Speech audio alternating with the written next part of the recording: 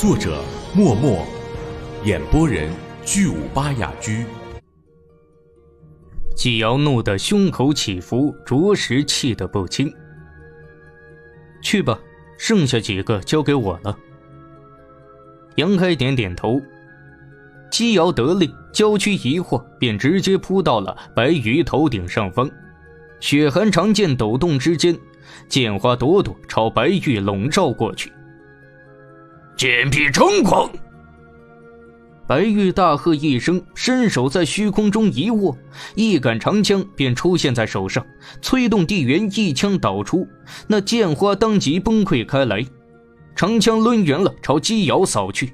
姬瑶也是面色不变。长剑一扫，一道剑芒便朝白玉斩去。两人顷刻间战成一团，地缘涌动，法则碰撞，直打得如火如荼。一边与姬瑶交手，白玉一边说道：“你们去将那两个杀了，再来助我。”是。太平城城主严冬与另外三个玄雷阁长老得令，立刻行动起来，脚下连点，四人分散四周，将杨开与石天河团团包围。董夫人，严冬目光冷然地望着石天河，开口说道：“本城主还真是没有想到，你竟是冰心谷的弟子，你可是瞒得本城主好苦啊！”石天河咬牙道：“百年之前，我就已经被逐出了冰心谷了，如今并不算冰心谷的弟子。”严冬呵呵一笑道：“不管怎样，你说到底曾经也是冰心谷的人。听说你还是那安若云的弟子，是又怎样？”严冬叹息一声道。唉，当年本城主在外游历之时，也曾结识过一个冰心谷的弟子。那人生得冰清玉洁，秀外慧中，便如董夫人这般模样，本城主爱慕至极呀。只可惜落花有意，流水无情，那女子对本城主却是瞧不上眼，让本城主引以为憾事。至今想起，依然扼腕叹息。严城主还有这段风流雅事啊！旁边一个玄雷阁长老忍不住笑了起来。这倒是不曾听闻过呀。是啊，若是当日那女子接纳了严城主，今日只怕也要受其牵连啊！幸亏严城主吉人自有天相。另一个玄雷阁长老也笑了，严冬摆了摆手道：“陈年往事了，几位莫要笑话严某。不过，虽然时隔多年，本城主却还记得那女子名叫于丹，不知董夫人可认得？”于丹师姐，石天河一惊道：“你居然认识于丹师姐？”看他那表情，显然是认识于丹的。严冬呵呵笑道：“你们同为安若云门下，果然是认得的，好好，很好。”他说着话，不住的点头，眼中闪烁的光芒也逐渐危险起来。一直没开口说话的那个玄雷阁长老若有所思的瞧了他一眼，说道。严城主，当年憾事，你不会是想今日来弥补吧？严冬微笑道：“有何不可？”几人都是听得一怔。那玄雷阁长老道：“严城主果然好雅致，这位董夫人可是嫁人多年了呀？风韵美妇，严某可是很喜欢的。”更何况，她与那于丹乃是师姐妹。既然严某得不到师姐，弄个师妹玩玩也不错。几位长老，待会儿出手的时候，可要怜香惜玉一些，莫要伤了她。几个玄雷阁长老也都不知道该说什么好了。不过也都知道，当年之事在严冬心中成了一个结。今日若能掳了石天河，也可以了了心结。当下纷纷点头道。严城主既然这么说了，那我等自然得给你一个面子。严冬呵呵笑道：“那就先谢过几位了。”石天河脸色羞红，怒道：“严冬，没想到你这么卑鄙无耻！望东海这些年一直为你马首是瞻，听你的号令。”东海。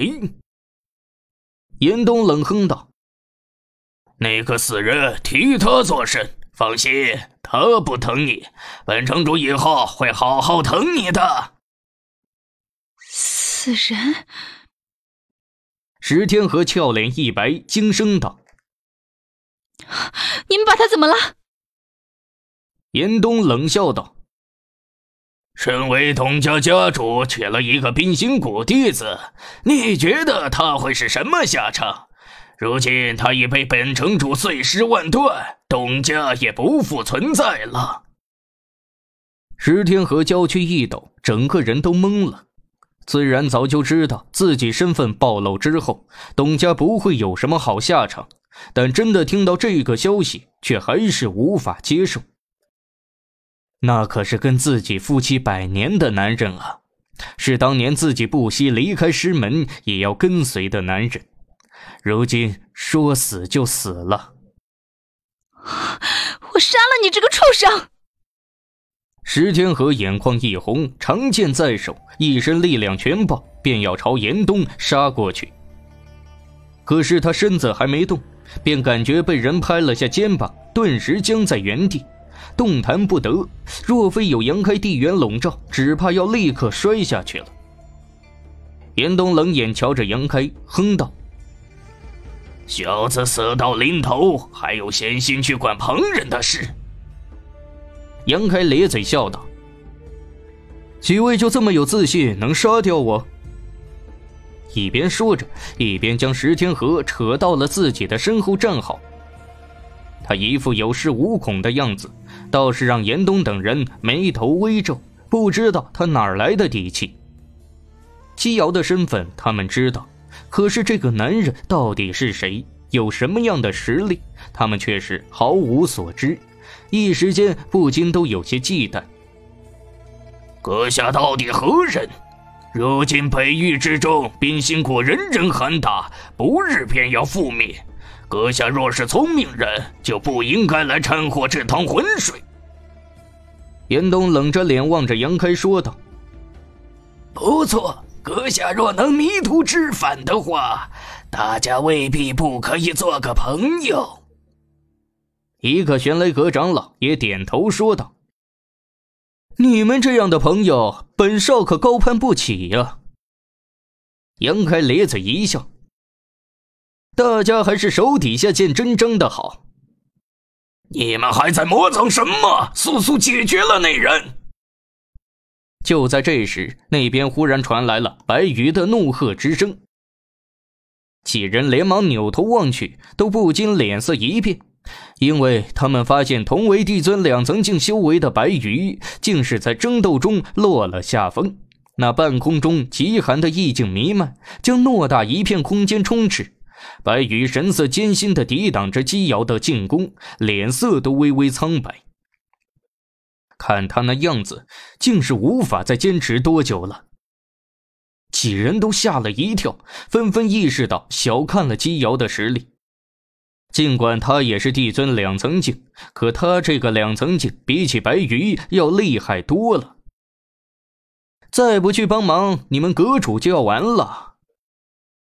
杨开笑望着几人，同时浑身地缘一震，有意展露修为，开口说道：“放心，本少实力不强，只是个帝尊一层境而已，别怕，一起上吧。”帝尊一层境。果然是帝尊一层境，妈的，区区一层境也敢扮猪吃虎，吓唬本座！严冬和三个玄雷阁长老纷纷叫嚷起来。先前他们有所忌惮，是怕杨开的修为比他们高，所以不敢贸然出手。本想着先将他的实力打探出来再说，却不料这家伙竟然自己暴露了。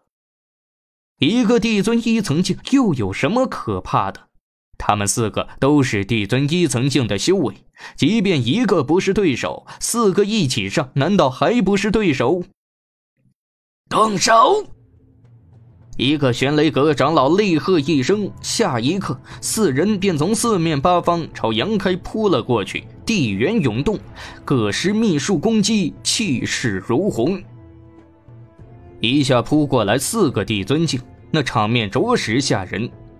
石天河被杨开制住，定在原地，只感觉身子蓦然一沉，仿若一座座大山忽然压在心口处，让他无法喘息。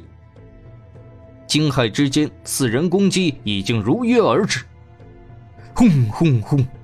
一声巨响之后，石天和心肝都快被吓出来了，还以为自己死定了。可再定眼瞧去，却诡异的发现自己不知何时出现在了另一个位置。那四个人的攻击竟没能伤到自己分毫。杨开挡在前方，双手猛地一拍，再一拉。一道巨大的漆黑月刃般的攻击悠然成型，那漆黑月刃之中跌宕着让人心惊肉跳的能量波动，似是死神的镰刀，伺机收割着众人的生命。咻的一声，月刃击飞出去，直朝那四位帝尊境斩去。不好！严冬脸色一变，大喝一声。先前一招失手，他便意识到自己等人小瞧了杨开的实力。这青年虽然确实也是帝尊一层境，但那速度却是诡异非常。有这等速度，在争斗之中便几乎可以立于不败之地呀！回头之时，正见到那巨大的月刃呼啸而来，吓得严冬急退连连，口中暴喝道：“几位长老，快躲！”他见机的快，躲得利索，但那三个玄了阁长老却没有这么伶俐。三人还在想着眼前这一幕到底是怎么回事，压根就没看到杨开有什么动作，为何人就突然不见了？待到严冬提醒之时，那月刃已袭至面前。三位玄雷阁长老齐齐大喝一声，纷纷催动自身地元，调动法则之力加以抵挡。嗤嗤嗤嗤，让他们骇然欲绝的一幕出现了。那月刃所过之处，摧枯拉朽，将他们的地元和法则撕裂开来，势如破竹的袭杀而来。一声轻响。漆黑的月刃从挡在前方的玄雷阁长老身子中间切过，于是不减的斩向第二个长老。那第二个长老也没能幸免，同样被月刃斩过。待到第三个中年长老之时，他才总算有机会稍稍偏了下身子，让得月刃从臂膀处切了出去。严冬一瞬间瞪大了双眼。惊骇地凝视着那两个被月刃切过身子的玄雷阁长老，眼睛都不敢眨上一下。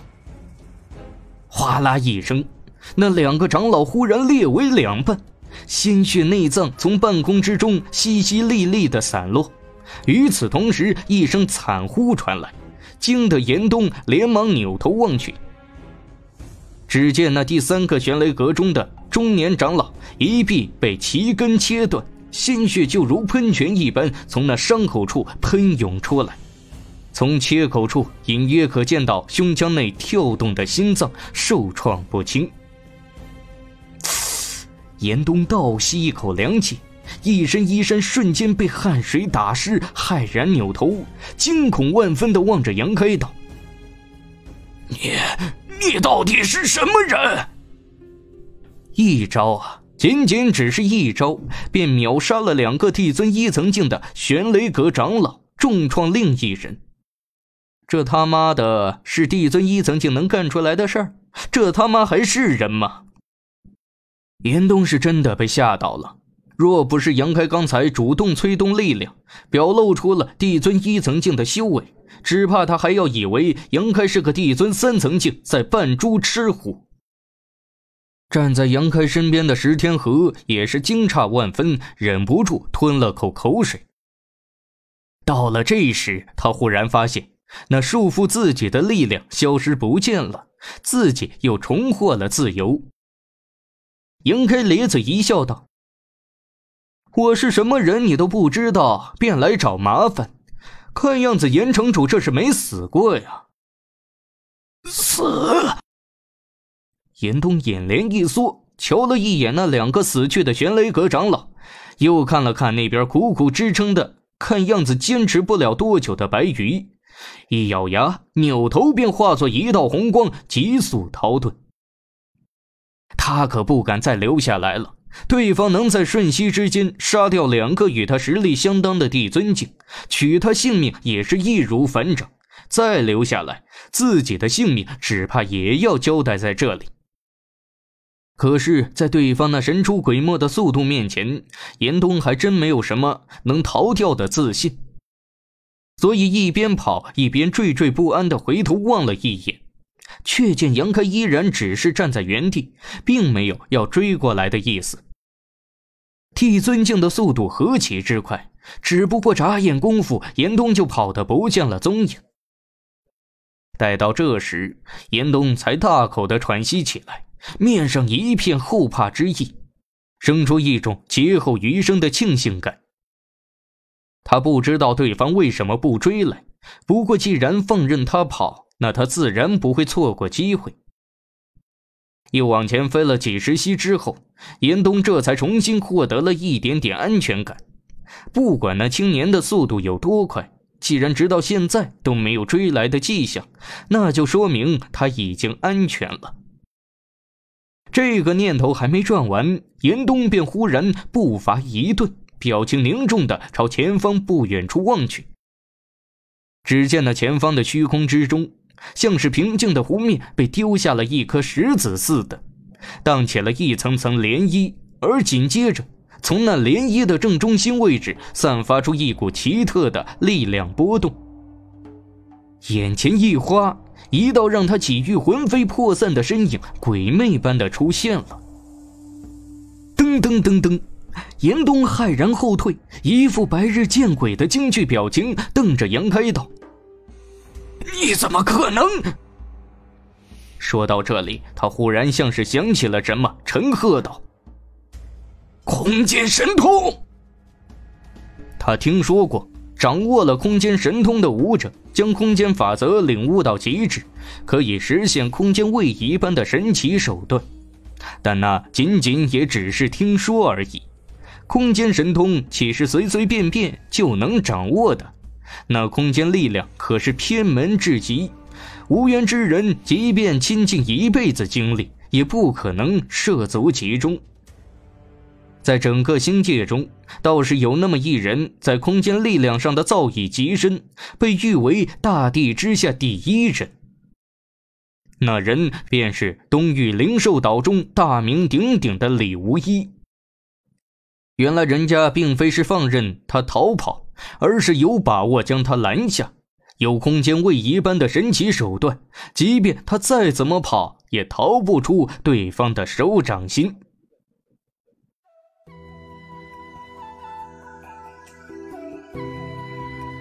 听众朋友们，您刚刚收听到的是由喜马拉雅出品的武侠玄幻小说《武炼巅峰》，作者。默默，演播人巨武巴雅居，更多精彩有声书尽在喜马拉雅。我心生出牵挂，共谁演绎这张金戈铁马？谁祝福真又算得到？